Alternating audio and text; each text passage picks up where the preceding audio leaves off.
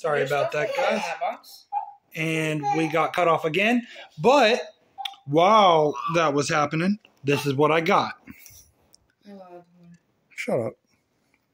Here, you want a bite? No thanks. Mm. See that? There's the eyes No, that's Nose, a box. and even the mouth. I made him a little tooth. I, What's over here? I, w- I was kidding. You Look. can't fit in that box. I even made him a tooth. Oh, look. Adrian did this nose all by himself. He just took the marker and that's what he wanted. There you go. Oh. Come here, baby. Mommy was oh, kidding. Yeah, Are we done? You have to put the lid back on it? We're not setting a, uh, a candle in it till tomorrow. We don't have a candle. We can find one.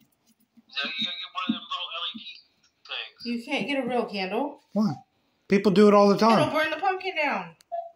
Oh, well. You have to get a you have to get a little fake LED candle. Hmm. No, Oh, yeah. It'll, it'll work better. yeah. And thank you guys so much for watching.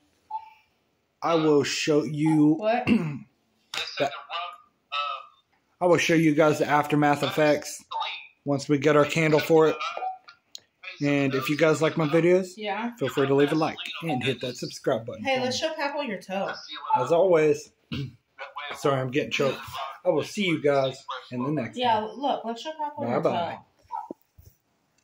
toe. It's, it's